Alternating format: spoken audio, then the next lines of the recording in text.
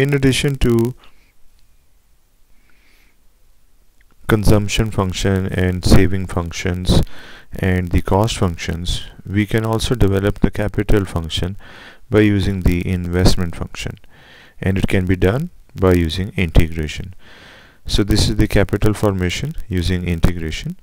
And we have the example number 3 on page number 466 of Alpha C. Chiang's book of mathematical economics we are given an investment function as a um, as uh, explained over time that is t is the independent variable.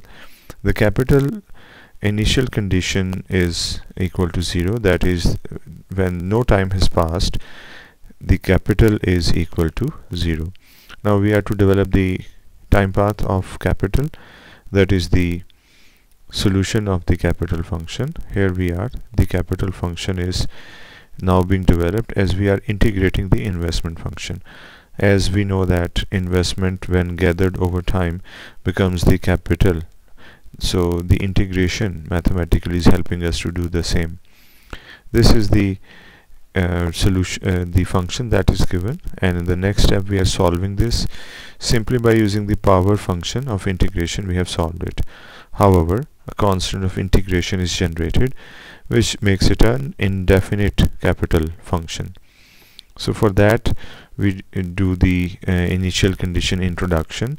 We have the initial condition that is um, we introduce t is equal to 0 and the value of the initial condition is 0 so when we solve it this becomes 0 and further this also becomes 0 so c comes on the right hand side.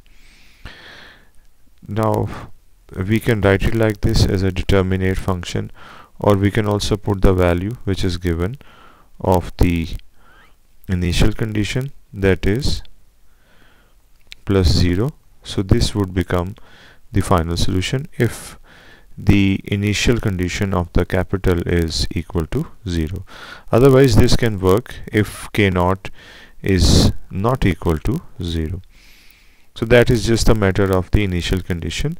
However the remaining solution will be there and will be the same. Now we make a graph of it by considering another assumption regarding k naught.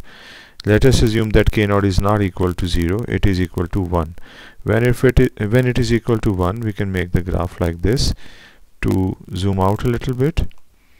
Here on x-axis we have time variable and on y-axis we have capital and we are plotting this graph that we developed.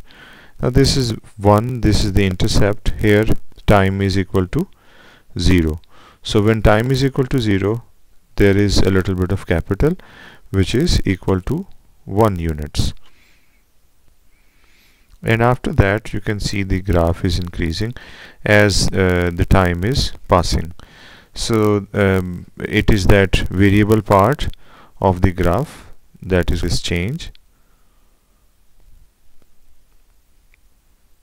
now you can see that this is that variable part which is explaining this positive slope and a positive relationship between the time variable and the level of capital. So in this way a consumption uh, an, a capital from function is developed and this is how we solved it by using the integrals. Thank you